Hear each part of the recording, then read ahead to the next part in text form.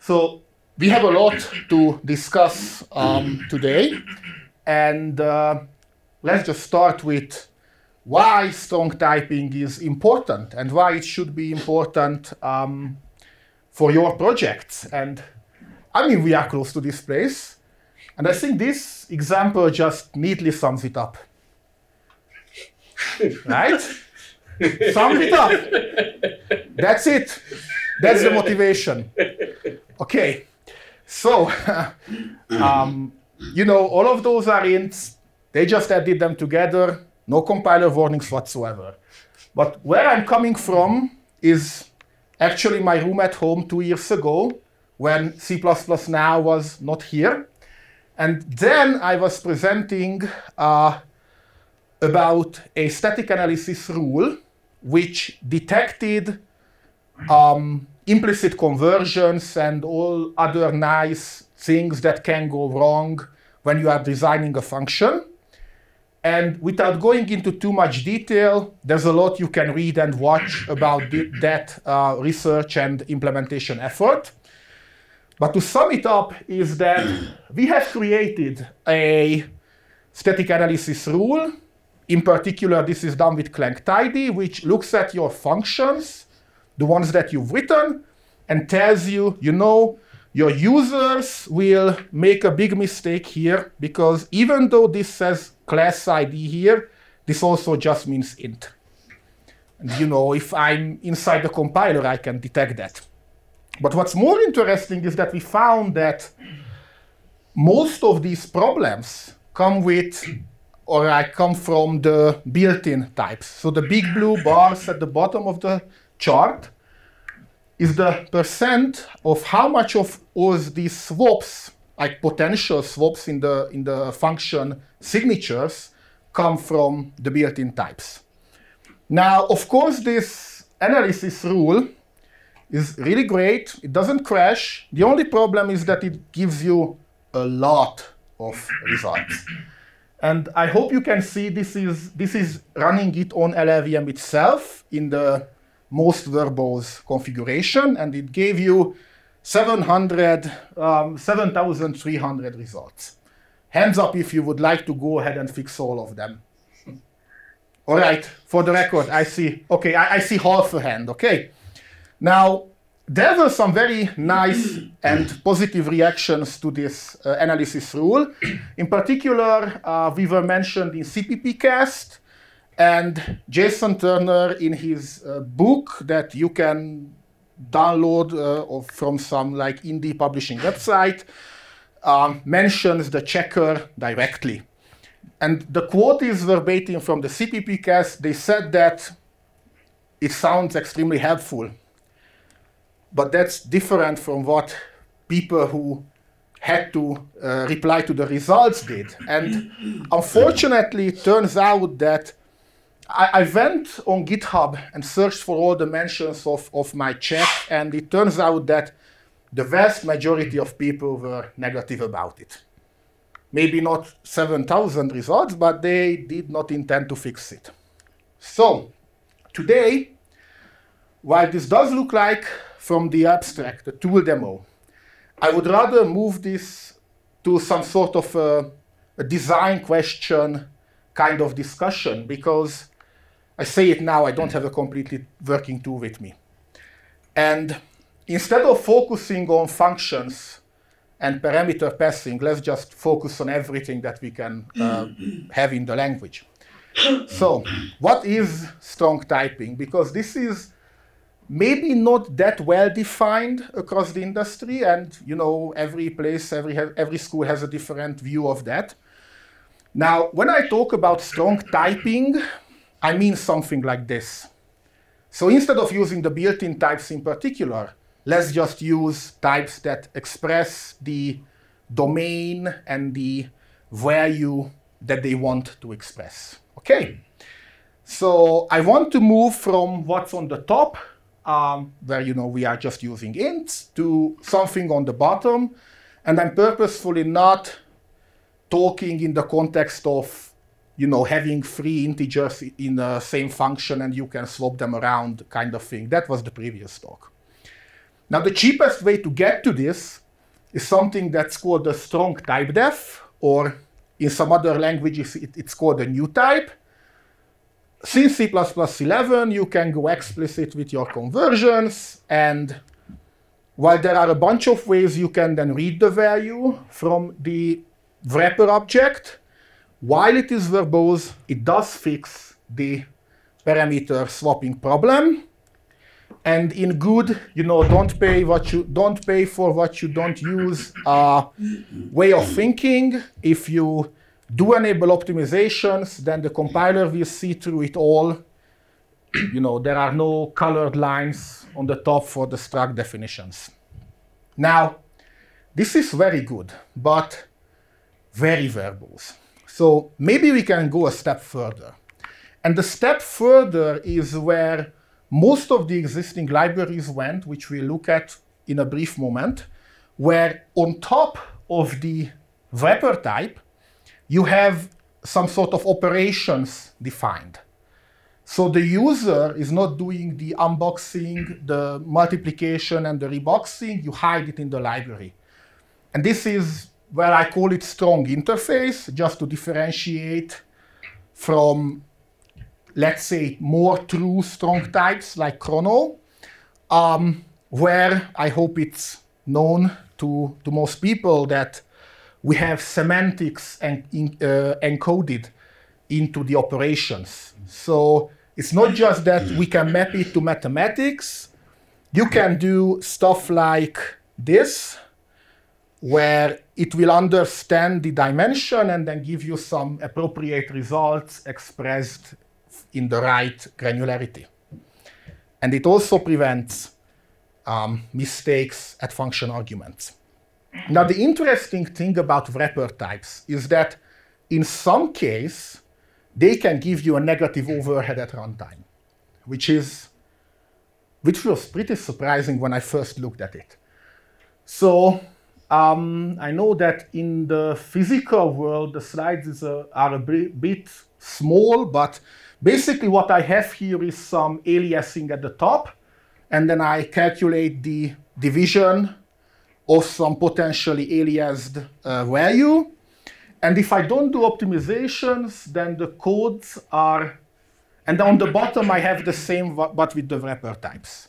And without optimizations, the code is much longer.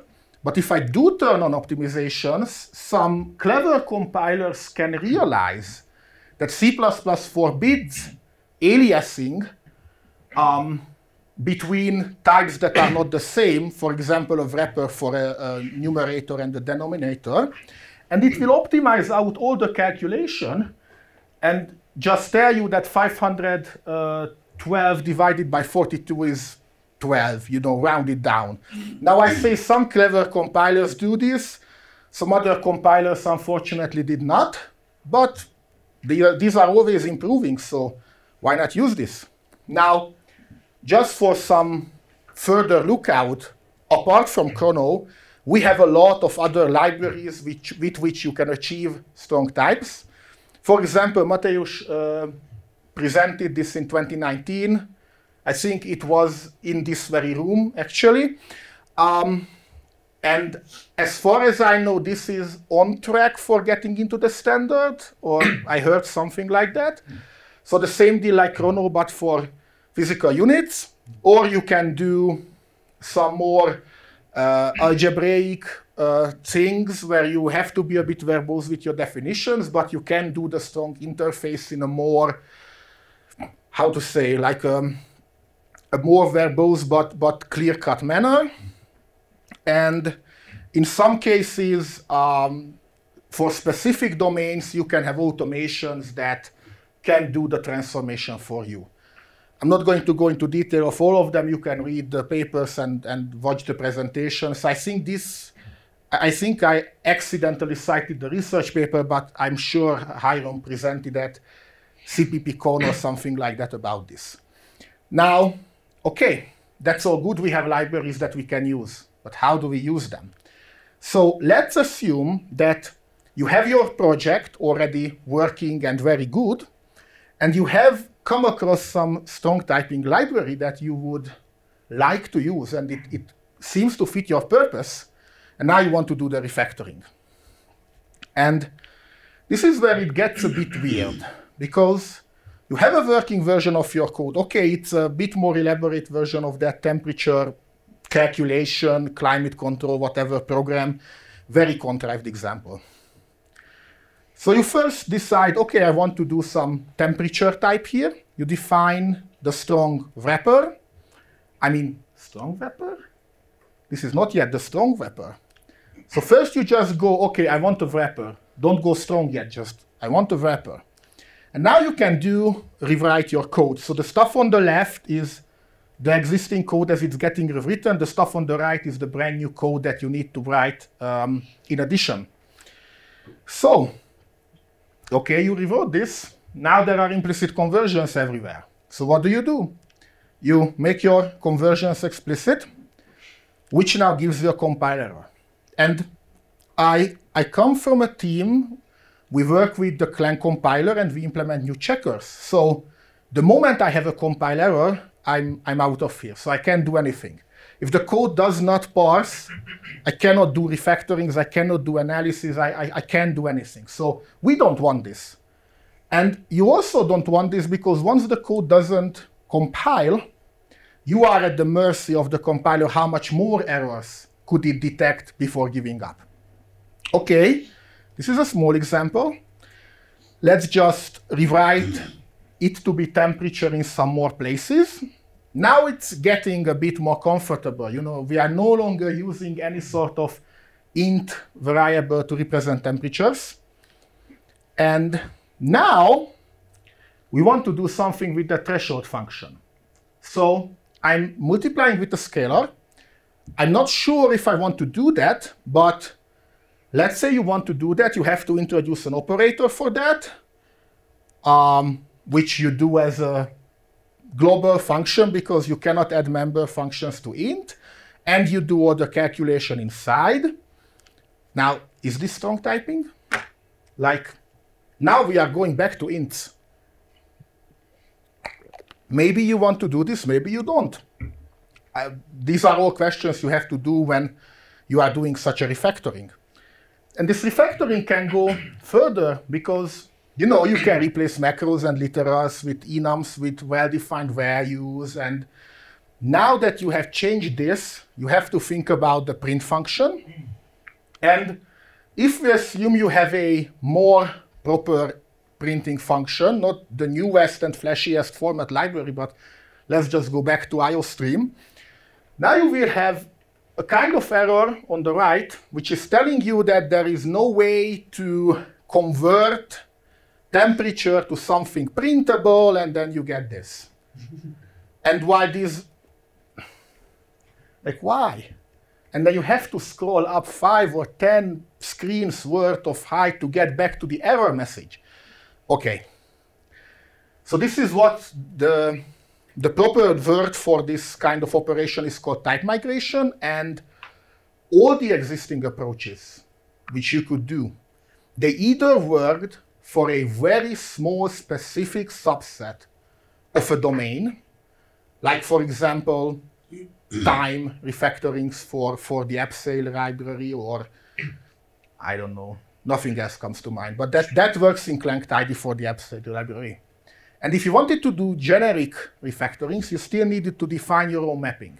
You had to have all the new types you want to use already designed and that meant that you had to understand either your entire project in advance, which is harder than it sounds, or you had to accept that somewhere you will just run into a compiler. And as I said, if the compiler gives up because your code is not proper anymore, virtually all tools that can do this just stop working. And it's really funny because we, we come back to this. This is from 2019, also 10th of May, just it was a Friday back then. This was a talk I gave about modules, and before that I asked, you know, tell me, guess, tell me a guess, how much C++ code is out there back at the time not using modules? And, you know, I got numbers like this, very big numbers. how much C++ code is out there not using strong types? Okay, we are back here again. So, let's say you don't have those. You don't have, you either don't have the library yet, or even if you do have the library, you don't have the mapping. Because it's reasonable to assume that you did not see through your code for all the operations that you would ever want to use on your types. But you could have some tools, okay? Now let's see what happens now. So um, this will be an overview of a tool that I've been creating for the past two years, maybe. There will be a slide about the timeline at the end, but okay, let's go. Let's see how it works. So I've created a small snippet from the previous example. So we have some uh, temperature that we are loading somehow. It's not interesting for the purposes of this uh, um, exposition. I'm giving it over to a function. I want to calculate, you know, how much three times the temperature is, and then I want to say it's a temperature. And if you are a compiler person, uh, you are likely used to these things on the right. It's called an abstract syntax tree, just a nice little graph view of how the compiler thinks about your code. So what can you do now? Okay, I don't, I, I know, looking at this code, that this is a temperature. I want to use, the, use a temperature. But maybe I don't know that I want to be able to scale a temperature or co compare a temperature. So what I say, I tell the tool, this variable should be a temperature. And I, I call this method fictive types. Mm-hmm. We will go into why it's called like that. This is just an annotation, okay? So you put this in here, and I will abbreviate it as FT for you know the size on the on the screen. And the really great thing about attributes, although I did hear some a corridor talk about this earlier, is that by default, compilers only warn or completely ignore an attribute they, don't, they do not recognize.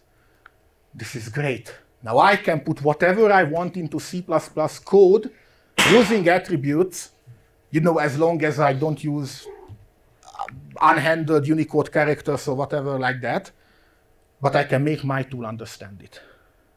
So this is if you run this code with just a usual stock official released compiler, it will give a warning, we can ignore warnings, but then I can run a tool which does understand this annotation. So back to the example, now the hmm. tool can see that you have colored that thing to be temperature. And now it can go further and it, it will go throughout your translation unit and into other translation units, saying that, okay, you are passing a temperature to this function. If I want this function to work with temperatures instead of ints, then this function will need to take temperature, so it colors that one. And now I have another piece of information and I can go further. And now I can see that inside that um, multiplication, you are using a temperature. And now I can tell you something very interesting. Okay. Now, what happens is that I can realize that you are doing an operation between types that are not yet um, readily known and I can give you some advice. Okay, you either have to define this operation to work with, you know, bare types or built-in types, or you have to make sure that the other value in that multiplication is also a, it also has a fictive type annotation which gives it a, a well-defined I wouldn't want to say concept because C++20 reserved that name, but like like uh, a well, well understandable meaning behind it. This is what was the compile error before. But realize this time this is not a compile error. I still have a perfectly valid syntax tree on the right. Everything works outside this tool as well, but I can act on this information. And um, just because we are going for strong types here, what I did, I factor out that, that number for technical reasons we will get into and then I restart the execution. Those bits of information are still in the code. So now the syntax tree changed a little bit. And this time, if I say, you know, this is a factor. So let's allow scaling up a temperature because that makes sense in your particular domain. Now, if I said that I understand this operation, I can calculate further and say, okay, so factor times temperature is a temperature. Now, then this function returns a temperature, and then that variable becomes a temperature. See? Now just imagine this for all the other constructs in the world in the language and in a long-going iteration for a large project. Okay, why did I do all this? Now I have littered the code full of these annotations, which other people on your team may or may not want to read. But the fact of the matter is, uh, even if you committed these changes to some working branch or some side track of refactoring effort, if I forget about them, this is still perfectly valid C++. This is why uh, choosing annotations for most of the, the signaling in this, in this system was good because I can just still use it as C++ code before I'm, I'm done with the refactoring. But once I decide that I've saturated my code enough to go and use the new strong type, I can just decide to press the button and first I can have the strong wrappers generated on the top and then I can rewrite the code. Okay, I'm a bit hand waving here how it happens, but this is what we want. I mean, hopefully get rid of all the, the weak types that do not express conceptual meaning behind them. And now, while this is also, again, perfect, almost perfectly fine C++ code, every compiler that's, what's the right word, conformant to the standard, they can give me a proper error message that I am doing multiplication between factor and temperature, and that operation does not exist. And you can imagine this with every other kind of combinations, function, calls. They can catch your mistake in the future. But of course, I lied a little bit here because what I did is I forgot to generate the definition for the operation. I told the tool beforehand that I know its meaning. Okay, this is the overview. Any questions so far? How, how does the attribute uh, thing work with like type, uh, uh, like um, can we specify that we know these attributes to the compiler with warnings mm. or? Um, can we specify if we know the attribute? Um, in practice i had to modify the compiler. So right now i have a version of clang which which has some additional piece of code inside that makes it recognize this attribute. And then my tool can consume the modified uh, semantic output where these additional attributes are present in binary form in the, in the memory of the compiler. So unfortunately, this is a caveat that you have to actually modify the compiler. It's not like Java annotations, which you can define in, in uh, like um, actual code in the project. so um, the model is written in a scientific paper. It's interesting to look at, but uh, it's just describing in prose what I described in, in, this, uh, in the presentation. So maybe we can go and see why I'm calling it fictive types and, and what does this all mean. So um, it's a transitional view. All, this, all these attributes do not stay in your code. They are not meant to stay in your code. It's only there for the purpose of, of signaling uh, the decision points. And so far, the, they express a strict set membership. So if I say fictive type temperature, then the variable that's annotated should represent the temperature. There is no inheritance, there is no overloading, nothing like that. And um, Maybe that's not a good thing, but so far this is the model that we've been working with. So you can write things like that in the green box. Uh, anywhere you can put an attribute, you can just put this one. It takes something that looks like a string, and that does not have any semantic value to the tool. It just takes it from you. in an absolute trust, you want this type to happen. Temperature, speed, whatever you go, whatever you want. Now, interestingly, what, what would it mean if I do this? So there is one variable, but it has two separate fictive types. How, how would you refactor this to existing C++ language elements? Hmm? Hmm? Any idea? Multiple inheritance. Multiple inheritance. Interesting. Actually, my, my idea with this was to do a variant. So sometimes you might end up realizing that the same, let's say the real type representing the, the binary representation of, of some value represents stuff from multiple domains. And maybe you want that. And then perhaps this way you can express it. But the more important part of this is if you would write this.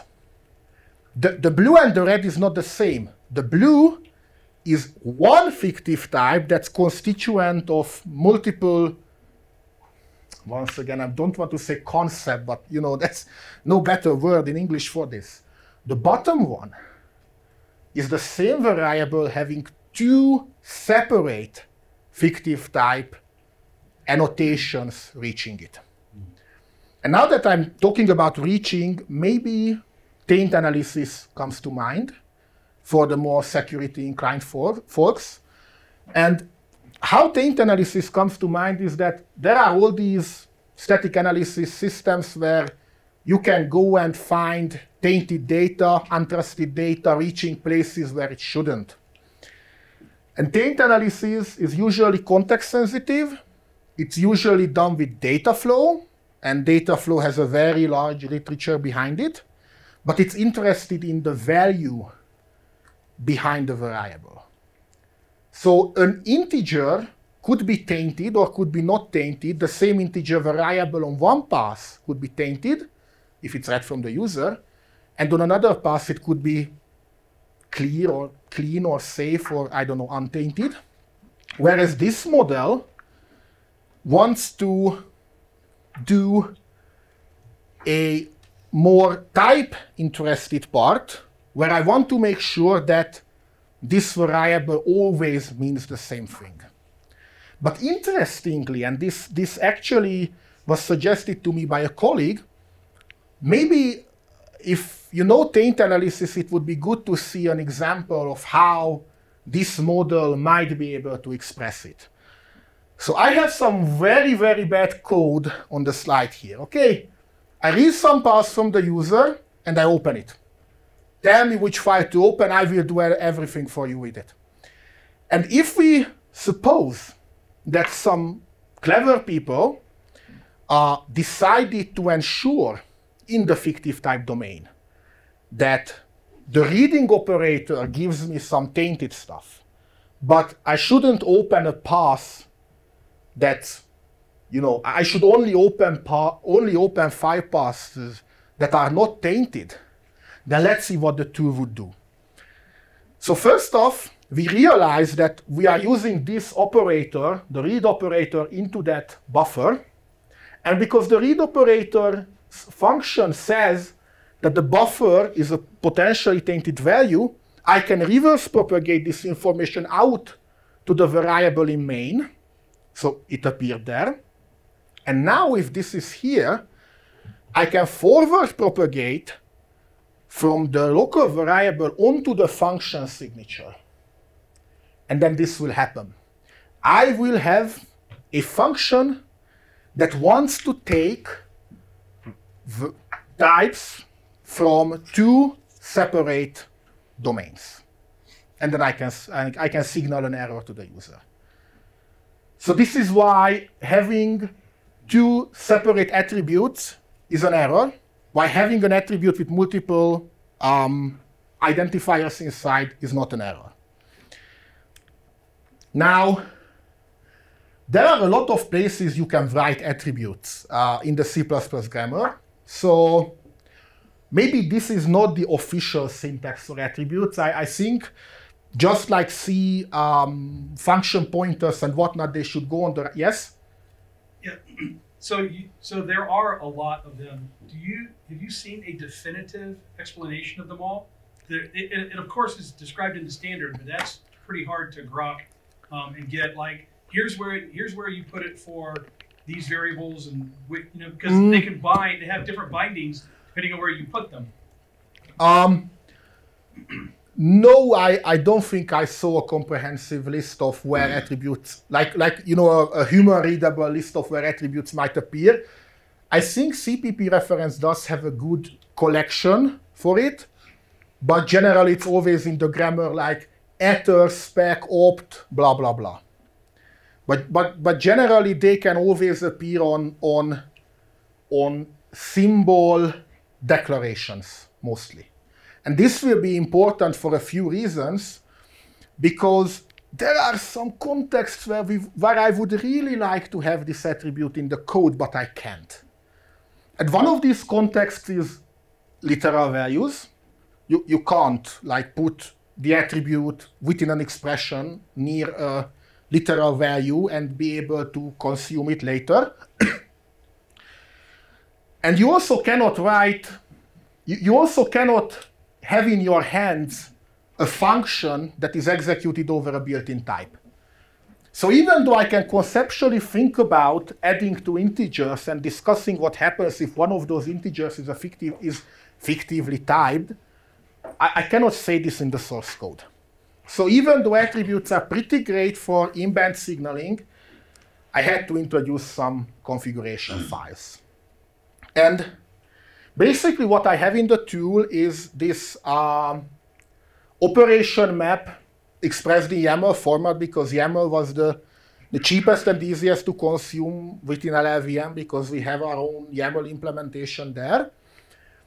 Only for the reason that you cannot express what operations are valid over fictively typed versions of some int, I have this file where you can do this.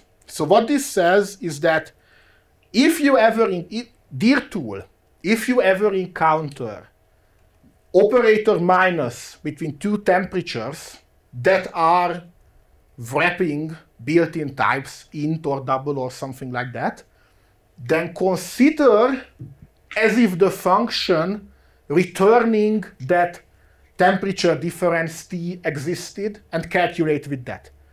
So when I said in the previous section that you have this um, factor times temperature equals temperature, which I, I record somewhere, th this is that somewhere, basically. And you can do a lot of things here. Just again, the name of the type doesn't matter because this is a strict, this is a strict, am I part of this conceptual idea of a value uh, kind of thing? But you can write this kind of, um, let me just go back there actually. Um, so, so the part on the top. So this part here is what goes into the, to the configuration file.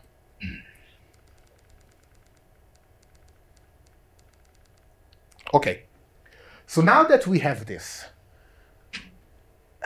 what do I have here at the bottom? If we ignore the ability to fictively type user-defined types, because that's also perfectly possible, not just ints, I have a strong interface.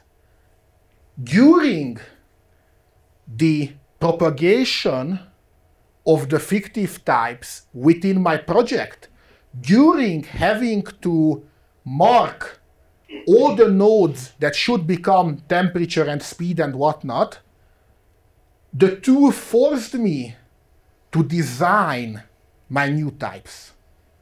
So instead of having to do this in advance to understand my project, if it's a large enough project, the tool made me understand it. And at this format, I, I had a, a student who, as his bachelor thesis, implemented a strong type library generator, which takes a format in YAML much like the one my tool is using, a little bit different, but I hope you can imagine a, a, a bidirectional mapping between the two. So once from the file that we have created during the traversal of your project, I could generate this other uh, schema, or maybe I can just improve their tool and have it consume my file directly. But this here is the strong interface, just not written in C++. But if I run the tool, uh, it can generate header-only libraries. It can generate um, conventional libraries that have CPP files in them. It doesn't support modules, unfortunately, but maybe we will come to that later. But from this YAML file, you can automatically generate, if you are so inclined, the, the strong interface. It will be really verbose. I actually had to cut out a few things from the slide to make it, um, from the code to make it fit, fit on the slide. but this is the same stuff we saw from before from, from Peter Sommerlad's library, just created with a tool. Now you can go two, two roads from here. Either you have this code generation always part of your build, build process. Okay, so if you don't care that, um, so if you don't want to staying in the physics domain, if you don't want to transform values between ratios and stuff like that, you could just have this, this definition file with your project, and every time you build it, just have your build system generate the library for you. But what's more interesting is that once we have it, um, if you have invariants, like you know, you don't want to express speed quicker than the speed of light, or you don't want to express negative temperature or something like that, you can add your assertions in here. You can add whatever. This is, you know, C++ code. You can write whatever you want in here. Now, I hope you are a bit excited that this is a very great tool, right? So now I can fix everything that's wrong with implicit conversions and all my function signatures will be safer and no one will make a mistake ever again, except that this is C++. So we have, so I started working on this tool, and, and, and we will see it um, on screenshots later, but I have run into more constructs in the language and the way people write code, not because they are evil, but out of necessity, than I can count, where this very nice model that I've described before just breaks apart completely it, it looks so good. You just, for the compiler, make it have two attributes that it can consume, and then you write something that's on the size of like five Clang tidy checks and it just does it all for you, right? Ah, no. So where can it go wrong? Um, there are a bunch of constructs during refactoring that you, you just shouldn't touch. Maybe you are not allowed to, such as the case of virtually all and every library that your project uses. Okay, if I am consuming your CPP file that includes IOStream, that includes UniSTD, that includes uh, Boost, MetaShell, or whatever, I will see those functions in your, in your code as I'm the compiler. But I cannot start adding these attributes into files that um, that is not in your legal possession. And in fact, the last time I checked, uh, it would be perfectly valid for a C++ compiler, at least up to CPP 17 pre-modules, that if you say uh, pound include vector, to not search for a file named vector on the disk, it would be perfectly fine for the compiler to inherently know what vector means and give it to you And then what file I'm writing, even if I'm root and could touch the, the, the standard library on the disk, if it is not on the disk. Okay, so this is C++. Um, and a lot of times um, we are touching uh, C APIs and calling into C code. You know, POSIX, um, you are doing JPEG transformations, you are doing cryptographic calculations, stuff like that. I cannot refactor it because all the nice stuff of strong types with constructors, with custom operators, with with um, I don't know what else can a, can a class give you, Vis uh, member visibility and whatnot. You cannot express that in C. Okay. So now I need to know if that, that stuff you are calling is in fact, even if it's your code and I would legally be allowed to touch it, is it C code or not C code or, or the kind of C code where you are only using C to turn off the name mangling, but in practice it's perfectly legal to give a shared pointer into it, because I did C code like that, uh C code. So it's extern C just to have a non-mangled name, but you are giving it a boost program option and you are taking a shared pointer from it, but it's defined as a C function, all right. uh, and then there is something that I, I, I try to be very funny and call it the, the very generic of generics. So, I mean, this is C++ now, but so far the examples have been very much CPP 98. So, so there are a few cases where being too eager to move away from a, a generic type, and in this context, I'm saying int is a generic type because it's just a number, right? Will break down. And this means that you want to respect some boundaries, even within the project, because you know you, you want to first make sure that some smaller library is safer before doing it for the whole project altogether. Of course, the, the external boundary of the project should be a very hard limit. And all these propagations that I've shown earlier, they are very much eager to over approximate, and we want to control it. So I added one attribute to the compiler already, so maybe I can show a few more. So as I said, there are a lot of external code we are using day to day, which I should not touch. So if I'm writing out an int, I shouldn't. Um, okay, maybe you can overload the, the, the feed operator, but but maybe that you can do that. You definitely can do that in IOStream. You could give your own overload. There is errno. That's the nicest of the C APIs that I could come up with. You, you shouldn't really refactor errno into an enum, even though it's pretty much considered an enum, especially in, in C++ if you are using std error code and error category and all that kind of stuff. And you really don't want to change a generic function like vector t pushback. So if I want to push cats into a vector, I don't want every vector t pushback to take cats instead of t's, I want a vector of cats, right? So I also can change that function signature. So I added one I added one attribute into the compiler already, so why, why shouldn't I add like five more, I think? um, it's an open-ended list. So, okay, I want you to be able to say, okay, tool, this is where you stop. And for this reason, mm, we've created an ignore attribute, which just says, um, you shouldn't touch this.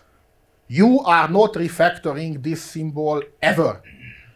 And because I know what's not part of your project, or I can approximate this fact, um, everything in the standard library is ignored everything coming from a system header is ignored, blah, blah, blah. And what this means is that if you have this refactoring effort going, we are back to temperatures. I want to print out the temperature.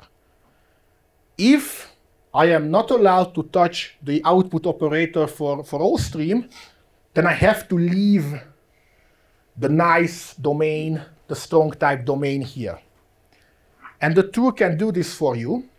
Um, it realizes that that function is ignored and then just inserts the cast.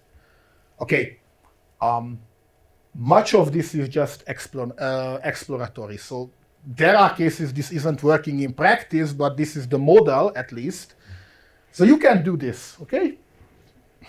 Here I am explicitly leaving the nice domain. And this is post-refactoring, because this thing here became a temperature already. Now, um, alternatively, you, you have a better point where you can create a barrier. So we have this attribute, attribute barrier, which says that, okay, so it's, it's like an ignore, but just I'm still refactorable, just ignore everything after me, okay? So in this case, um, T2 becomes temperature because it's initialized from another would-be temperature.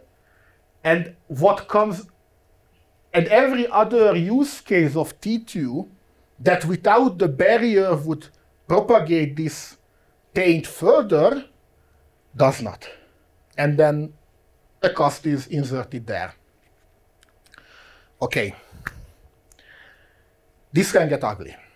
Because um, if I'm casting away the strong type every single time I'm using a library that does not respect my strong type, then I will have a code where every second word in it will be static cast. Mm. Like this, okay? So Okay, of course, there's a double version for the print operator. Everything gets rewritten back into casts. So I'm the compiler still. So I can do understand some more things about the code.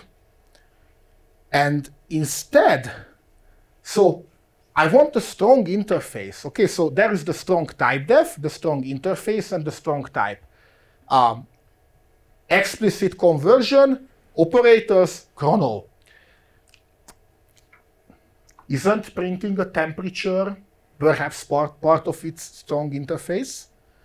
If we assume that you are representing everything in one specific unit of measure, then maybe you would want to be able to print temperatures in a way that the unit itself gets printed to the output if you are printing to text. So instead, what we could say is that I want the tool that if I am passing something fictively typed on the second parameter, do not cast outside.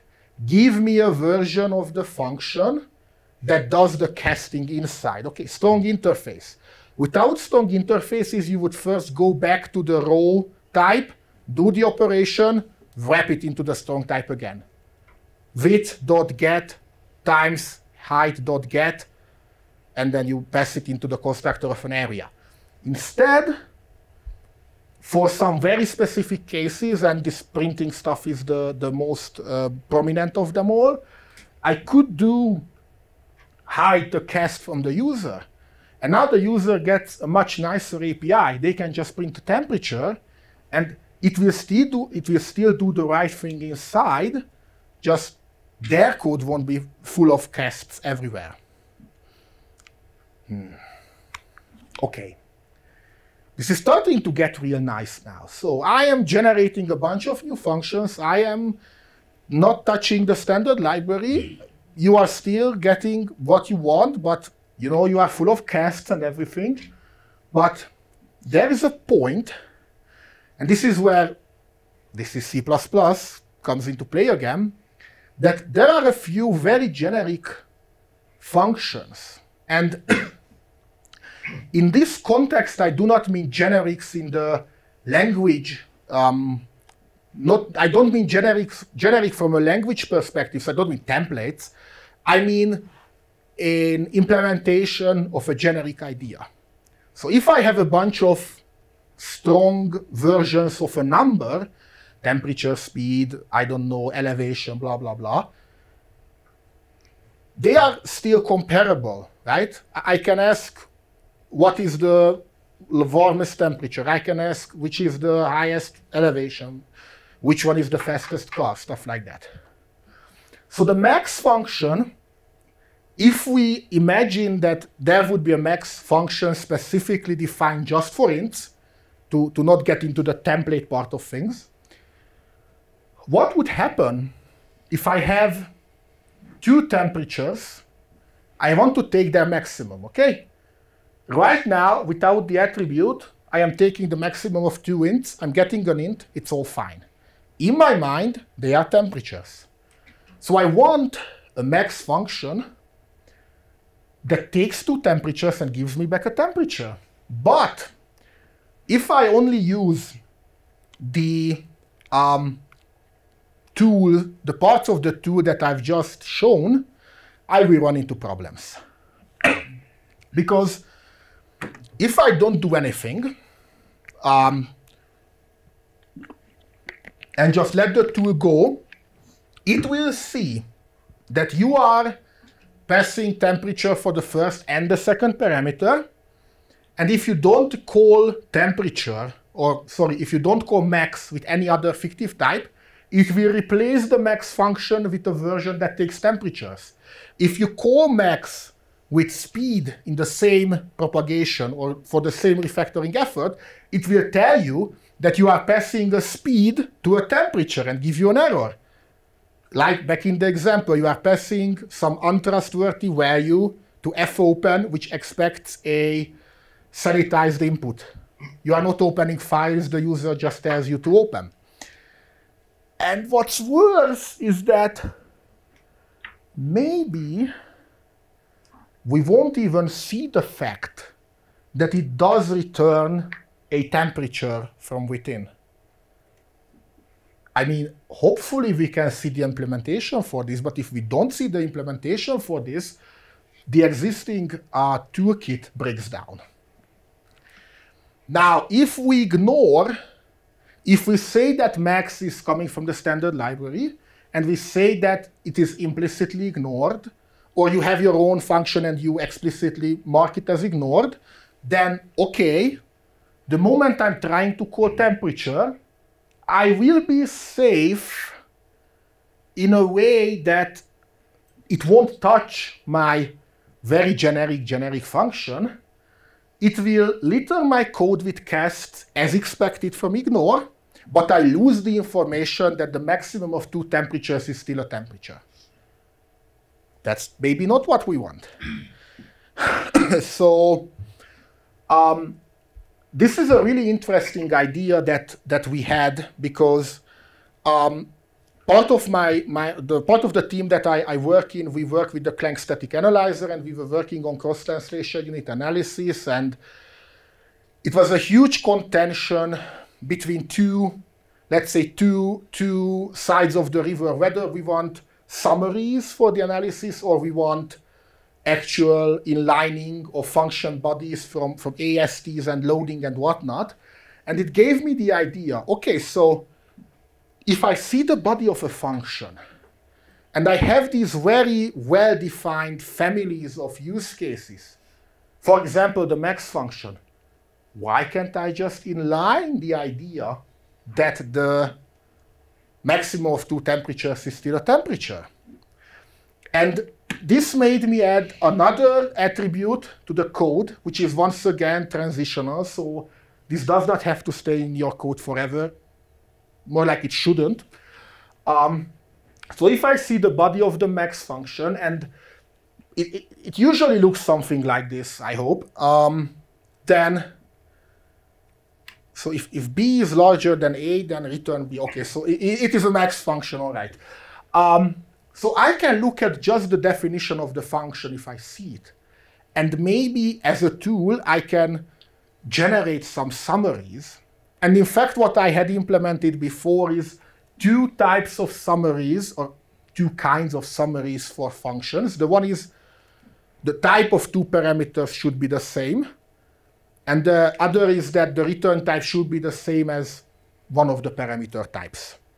So in fact, from the max function, I can deduce three summaries that I've unified out to that equation that if I pass in two temperatures, that's fine, but the return type has to be that.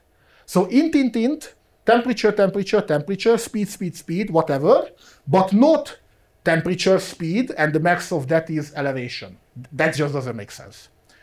And if I do this, um, then post refactoring, what we will have is the max function stays the same. It does not get transformed. It's still working on ints, but the tool itself will see through it and show you that indeed the resulting value of, of calling the max function on two temperatures can be and should be put inside another temperature. Unfortunately, you still have to have the cast, so you have to make, uh, or you have to do that. That one of the conversions away from the strong type is possible implicitly. Yes. This static cast has a cost, or they are eliminated by the Uh, They are- assumption do you make? They, they are they are without cost. Um, can I do it like I'm go to a specific slide or? Uh, okay, I can just go back and then maybe go forward. It's quicker like that. They, they are without cost. So um, here is the, the, the trivial example where I don't have operations. I just had explicit constructor and then explicit, like explicit boxing, explicit unboxing. This is possible built in in Haskell. It's called new type. Um, and without optimizations, you see that there are colored lines for the structs. That means that those functions exist in the, in the generated uh, binary. But if I enable optimizations, then the compiler will see through the fact that uh, you are just using whatever first four bytes of that memory location where the struct lives and let go of all the function calls. Um, I think I can click on the, I can click here. Oh, nice. Okay. So any further questions? Because uh, this has been the part where I described the model, but even though I have been saying that, you know, part of this doesn't work, part of this looks ugly, part of this is exploratory, I do have working tools. So, yes? I have another question. So when you when you translate the program, Mhm. the strong typing, uh, does it happen that the this new version of the program is faster than the original since you don't have the problem of aliasing of references and things like that? It can Or happen. less often? It, it can happen. It can happen, so yes. it can be more efficient. Yes, yes, yes. But that's that's too eh, that's true just from the strong aliasing rule if you Yeah. adhere to it. But that alone is Yeah, it's it's it's really nice. Um, it, it can optimize it away that you don't have to reload and and I think that more complex examples where you can get rid of aliasing would get even more optimal, especially in the case of of arrays and, and, and stuff like that. Like if you have multiple arrays, then you can they, it can optimize the memory layout a little bit better. But truth be told, I'm a front end person, so I, I I know how the backend part of the compiler works, but I never wrote optimizing logic myself and stuff like that. So so let's look at how this whole tool looks like. Okay, so how does it look like in practice? So as I said, there was a bit of a, a timeline towards the end of my slides.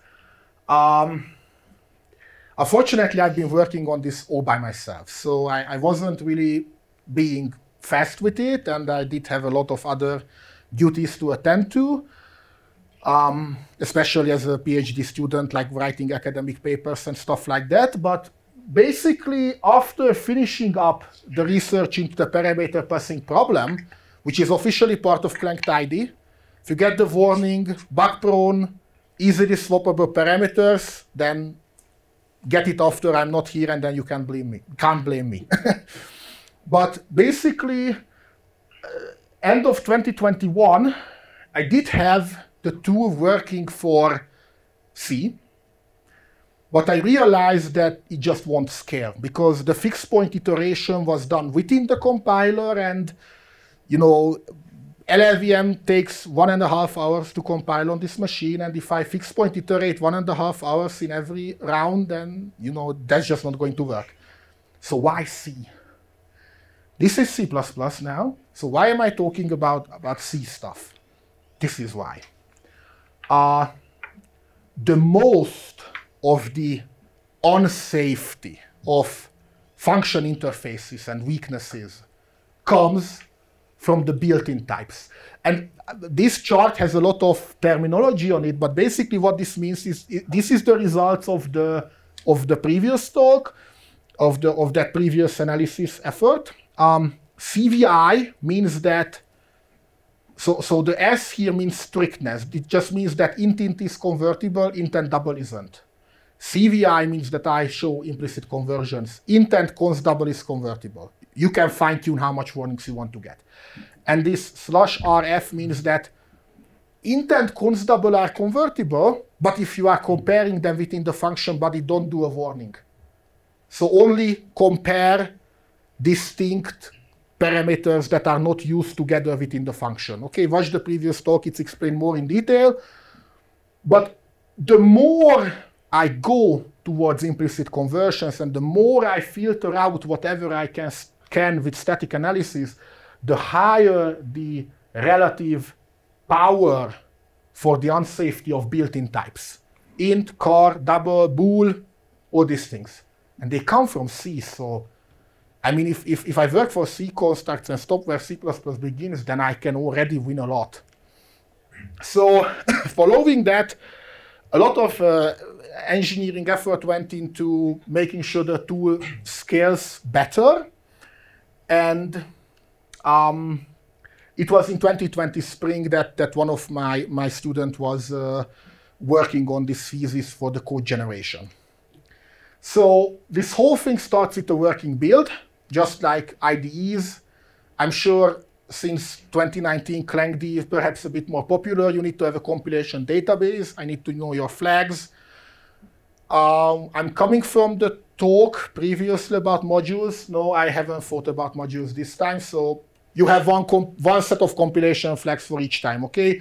One compiler, everything is fine. Uh, what was the name of the previous person, just for the record? The one who gave the module talk, previous session? D David or Daniel? Daniel Ruoso. Daniel. Ruoso. Daniel Ruoso. Okay, so watch it if you're interested in why you can't have one set of flags, but this time you have one set of flags. I need your code to compile, so if you have generated code, please have run the build. I, I want it to, to be in a compilable state, and then you can add this initial taint with the attributes. As I said, this is transitional, but the usual compiler ignores them. So you can add this to version control, which is really nice. And you can, you can also, you should also give me this configuration file with the operations over built-in types, and I think there will be a few more, like configuration that cannot be ex expressed within C++, but this is also a file that you can version can be part of code review if you want.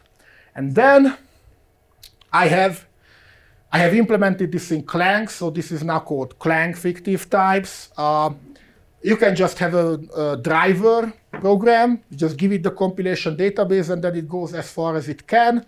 Or if you can, uh, you want to do it manually, then there are three steps, correct three steps, as shown in the previous section with the, the, the coloring of the graph that corresponds to the execution of three tools. First, I need to get the propagations from your code into some magic binary file that is more optimal to read than doing the parsing over and over and over again. And then I, do, I need to do the iteration, and then I can do the rewriting of the code. So just three tools. The top one just runs them in this sequence, basically. So Let's suppose some very contrived example of a, a dummy project where I have two translation units, just to show that this, thanks to headers, this does indeed work across translation units, where I'm basically just giving you three times argc, right? Yeah, it goes into calc. So So I have argc here, it goes into calc. Calc doesn't really do anything with it, so it comes back. So x is argc, and this is just 3 times argc, just written like this, okay? So, um, I can't increase the font size, unfortunately, these are screenshots. So if I'm just, you know, in some directory, I can show that indeed the files are there, which were on the previous slides. Now you know that I made this example about a month ago. I create a compilation database because I didn't want to deal with CMake. I just did CodeChecker log. Now I have a compilation database, which is really not interesting, but just shows you, you know, these two files were compiled. and um, it does the right thing. Okay, so I have six arguments there, uh, and indeed it gives you three times six, just to prove that it works. Now, I do the, I run the tool single-threaded because I, I don't, it, multi-threaded doesn't look good if you have a bunch of output messages, and it seems to do something. Okay, so there are some timestamps on the top. There is some structure here that has different sizes, so it, it looks convincing that it's real. and then and then at the bottom, it just tells you nothing changed. Hmm. Yeah, okay, but this is what we wanted. I, I didn't put any fictive type annotation into the code. I just ran it on the project without touching it. So indeed, in one iteration, it realized that it doesn't have to do anything. but it works. You know, testing empty input, one input, two input, five input, infinite input, blah, blah, blah. Okay, let's do something more interesting than empty input. So now, as a developer of this really contrived project, just you know, had to put together some language elements to show that tool. I go into the program, change the file, and I add one annotation in there, here. So I'm just calling it test type because you know this is just some contrived example, but now what I'm saying, X is a test type that wraps int. Okay, what happens now? Now, because I changed the file, I could run the, the high-level tool, but just to show that you know, small, it, it is composed of smaller operations. I rerun the collection phase. Now it's showing me that it's um, actually the interesting bit is here. Type names were zero. Okay. Zero elements which can be represented by zero bytes.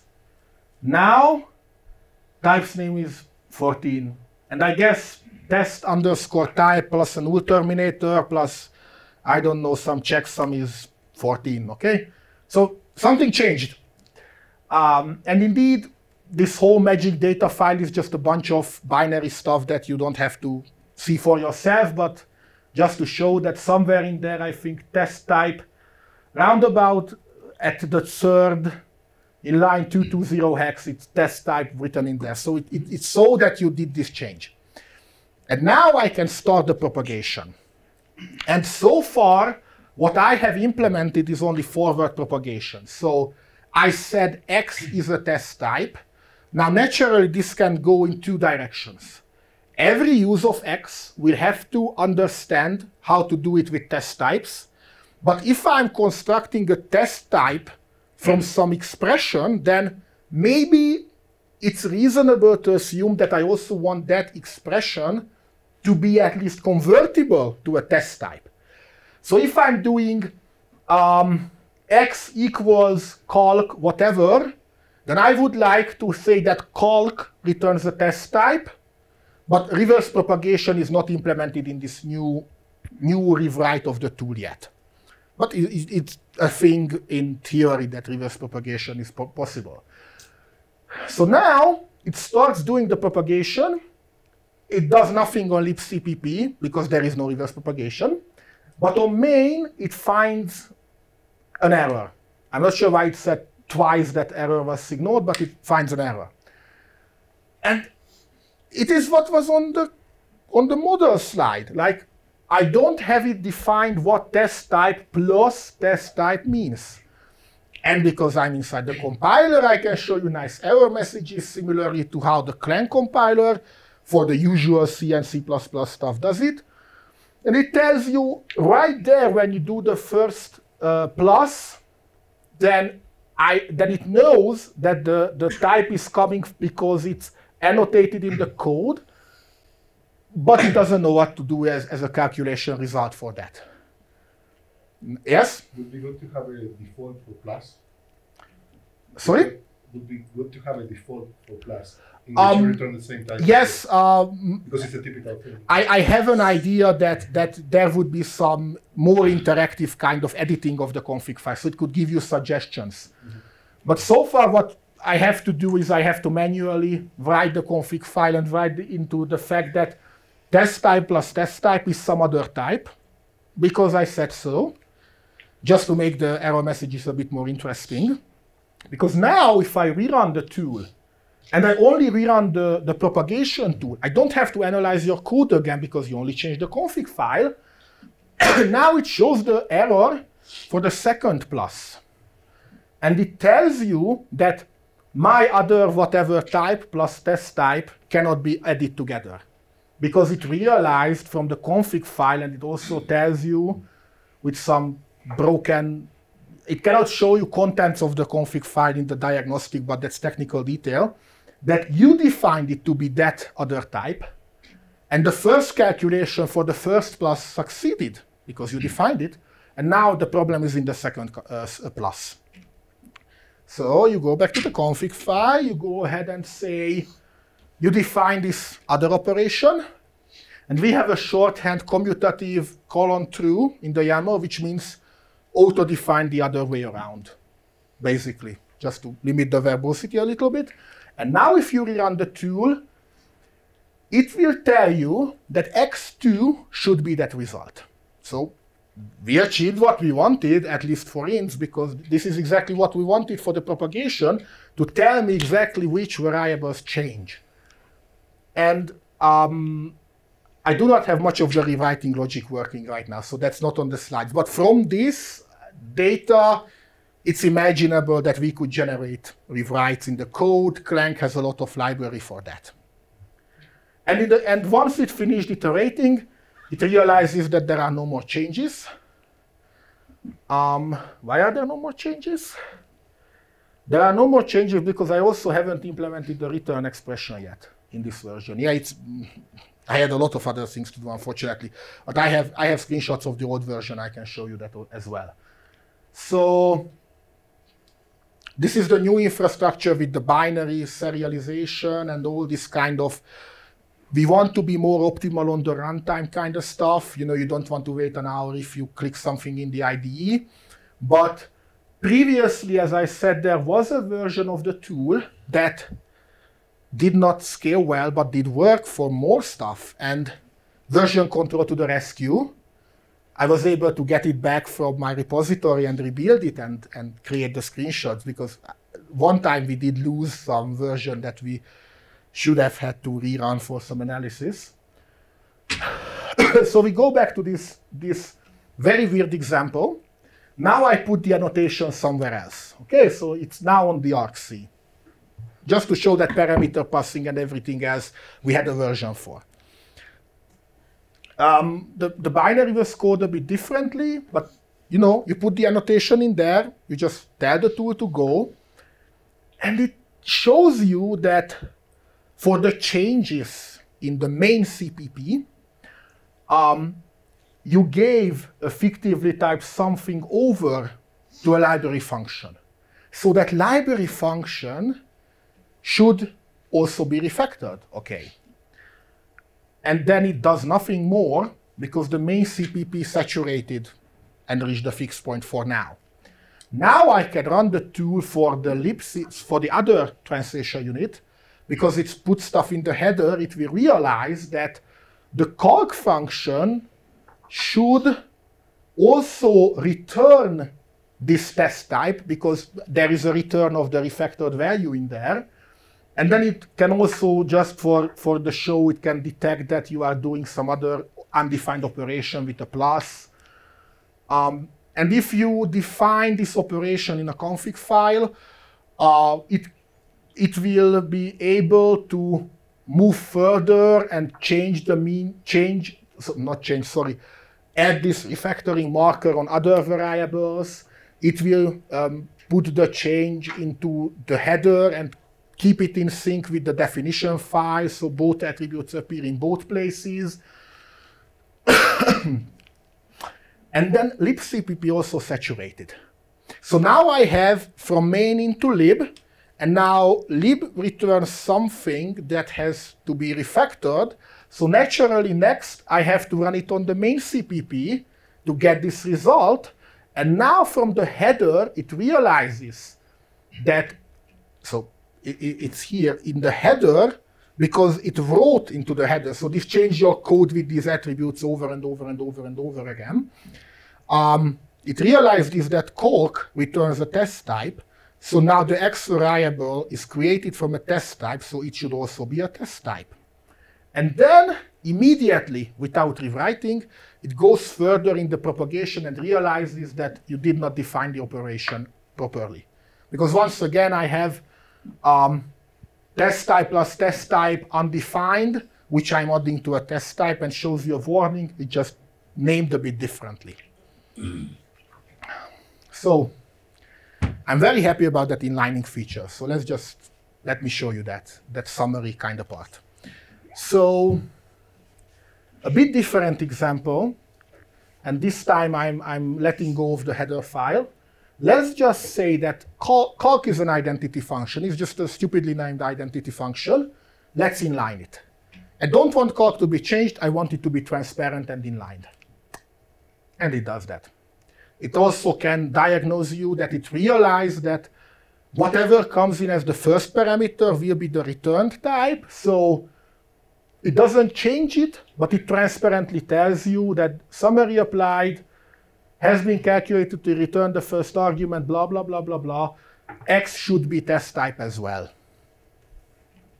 And I, am I'm, I'm not cheating here. These, this works. And then, of course, because you did not define the operation of adding them together, it shows you the error.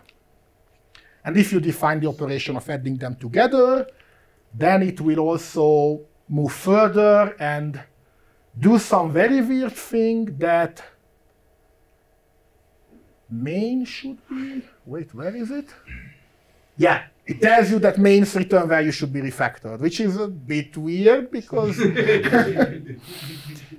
yeah, so maybe maybe it should be hard coded that that main, the global, how's it phrased in the standard these days? I, I have a very, I have a few parts in the standard that I really really like the phrasing and that something about main that it not, must not be a coroutine, it must be in a global fragment. It, it's, I don't know, the name main otherwise isn't reserved. And basically, yeah, we should hard code that. And this all of calling into the header, calling into the other translation unit, I can simulate a build system. And, and if I run just one tool, then it should, should see that the header changed. It works off of timestamps like every good build system does, and it just saturates the code for you. So this, this is the old infrastructure. The, the more scalable version did not have this implemented yet. And if I do the same with inlining, then it also happens. It swallows the output messages for, uh, to make sure it doesn't go bad with all the multi-threading. But with the inlining, the inline attribute stays there, but the function doesn't get otherwise attributed. and it, uh, it, it, stops at the error that it couldn't do the, the plus operation here, okay? And with it, I hopefully can say that formally the model looks really great. Um, if the refactored code happens, then we can move back to conventional C++ and everyday compilers, and they will prevent doing an operation you did not uh, intend to do, because previously it made you realize that you can divide, let's say you can divide, what's that, distance over time to get speed. Am I right? But if you then try to divide that speed with color, then it will be an error for every C++ compiler. And of course, as much time I have, I'm, I'm trying to work out all the scalability issues. But there are a lot of weird constructs in C++ where it's still a design question how to handle them. For example, this whole let's refactor the, the type parameter of a vector. And going back to the previous question of um, where attributes can appear. There was a question like that. So in Clang, there are several kinds of, of attributes, and there is declaration attribute and type attribute, and I don't know, it's a whole or whole uh, set of uh, phrases. But by definition, as far as I know, this, this last case, you cannot put an attribute on that int inside the template parameter, template argument, type template argument, basically. So maybe we will have a bit more argument saying this std vector int named dogs, uh, bracket, bracket, or what, what's that, square, square, fictive type template, argument, one, first type parameter is dog or cat or whatever. So I think the best is to first shoot for all the C features like char star and array to pointer decay and all that kind of stuff. And let's leave the C plus, the very C plus stuff to the end because from experience, stuff that is written in C already start from a, a much, let's say, a much more elaborate um, part. So if, if you have your own types in the program, like color, then you will use it consistently. And even within C++ code, the bad part is what's also expressible in C, all the ints and char stars and, and all the stuff like that. And that's the end of the slideshow, so I'm, I'm ready for questions, yes? Thank you. The problem with arrays is that when you start working with or any data structure is that uh, then if you access the pointer, you have to propagate the pointer type. Mm -hmm. And it's another beast. Yes. Um, so a variable that is a pointer is just another declaration.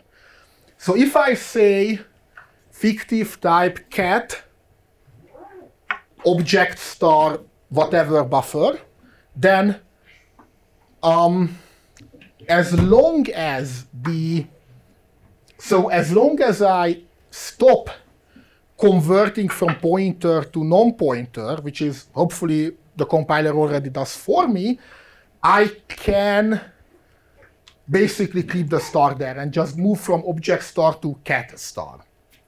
Mm -hmm.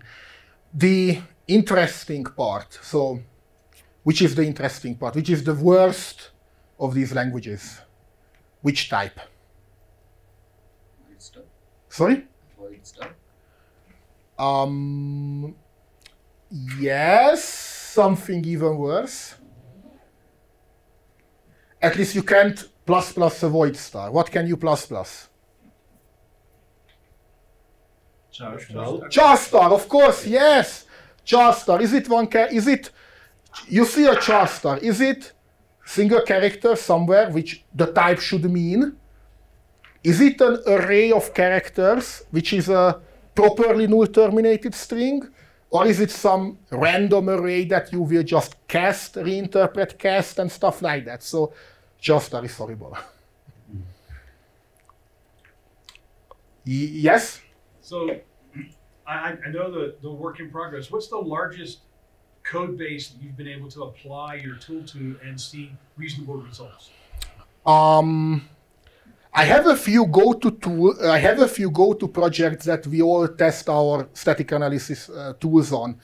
Um, I did try it on Apache Xerces, an XML parser, and we have a tool called Code Compass, which is a web-based, Clang-based code navigator thingy um, that that I also use to to try with strings and URLs and stuff like that. So, so not on LLVM itself. Uh, most of the, the examples that we have is, is on the toy level, like few files, just to make sure that we exercise all the language elements. So, so how long how long before I could use this on my code? well, if I have to keep working on it all myself, then I don't know, two years.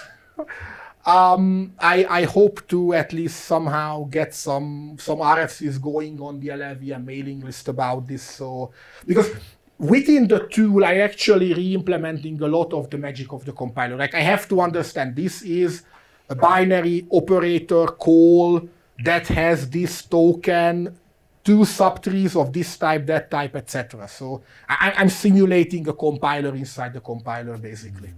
And and kind of kind of follow up, but almost but not it's every it's actually a separate question. But um, the so I thought earlier that you had said something about being able to have the annotation be bound to the type without having to type it over and over again. But I kept seeing you putting the annotation everywhere. Um, because the old tool, so so this is um, this is the old infrastructure. The old infrastructure worked by actually putting the annotation into the code and in the next iteration running the compiler over again. So it's it's you know just another parsing, like as if you did all this by hand and just run the run the tool from scratch. And that's why it didn't scale. So we moved over to a newer infrastructure where um, large screenshots make the make the computer slow. Um, one moment, I'm over. I'm almost there. I'm almost there. Uh, hmm. It's moving slower in the reverse direction. Okay, here. So um, basically, until so until I reach an error or until I reach the fixed point, it gets stored in these binary files that isn't meant for human consumption. This is like the, the BMI, the module stuff. So, so the idea is that up until the tool can go, it, it does it, let's say, in memory, just this time in memory is at least stored somewhere, so if we crash, we can restart. And then once we reach the point where we can either put in more annotations, so you want to commit it further, like come back next day to continue this work, or you can just go ahead and refactor the code. And so have you th- have you thought? I know that this is a lot of work to do these annotations and do this stuff. Have you thought of trying to use something like um, instead of doing all of that at compile time to figure out these things? I mean, having to enter, like implement your own compiler Mhm. almost. Use something like libclang to annotate and use the annotations to actually then generate strong type things. Then you can use that to test and check what mixes and matches with actual code that compiles. Um, this is using libclang under the hood. Uh, back in the previously, I, I did not find a good way to emit custom attributes into into a code, so I had to write my own. Maybe it changed. Um, the problem is that changing the the so, so using libclang in a way that I create types and mutate the syntax tree like destructively. I did try it at No, first, no, but no. I wasn't. I wasn't mm-hmm. talking Huh? about actually mutating Huh? the uh-huh. syntax tree using libclang to read the read the stuff and then actually generate C code that then you can use. That way, you don't have to keep modifying the the, the, the tree, right? You just generate the the replacement code to to to use. Oh, that that will be the that will be the, the end goal. That, that will be the end goal to, to create the replacement code with some good tooling. Uh, there was a question there first. Um, what does the convergence curve on this look like? Because every time you uh, expand some annotations, you're going to have more annotations to um, strip. So, like, does it look like a sigmoid or an exponential?